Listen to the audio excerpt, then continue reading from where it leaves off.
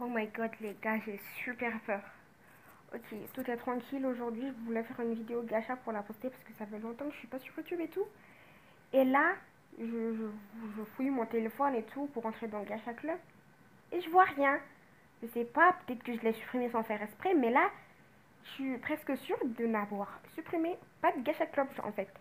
Et là, je suis choquée. Alors, je dis, c'est pas de problème. De toute façon, j'avais pas beaucoup de persos je peux pouvoir les réécrire parce que je m'en souviens très bien. Après, je vais sur Play Store, j'essaie de réinstaller Gacha Club. Ça marche pas. J'appuie sur installer et ça revient à la case départ, les gars. J'ai super peur. D'un côté, mon téléphone, il était cassé il y a pas longtemps il a été réparé récemment. Peut-être que c'est à cause de ça et tout. Mais là, ça me fait super peur, ça me fait flipper là. Imaginez, je fais mon compte Gacha là. Ça m'est déjà arrivé sur Roblox et tout, quelque chose comme ça, plus de deux fois, trois fois. Genre, j'avais tellement avancé là-dessus et euh, comme par hasard, je perds mon compte. Et là, ça m'arrive la même chose sur Gacha Life. Non, ça, c'est pas trop. J'ai perdu mon compte.